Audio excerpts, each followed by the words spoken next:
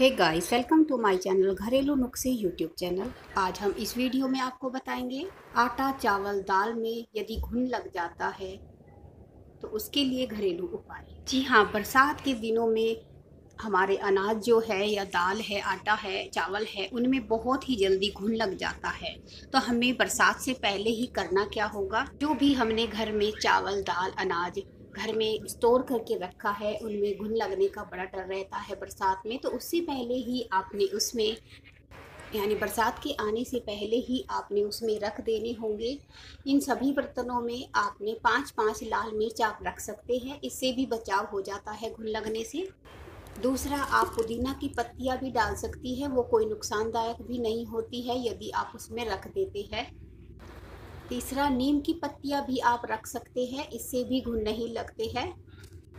और चौथा उपाय है, माचिस की डिब्बी लेकर के थोड़ा उसको खुला करके आप किसी भी बर्तन में रख दीजिए, जो भी आपने सामान स्टोर किया है। उसमें आप एक एक दो दो माचिस रख देंगे।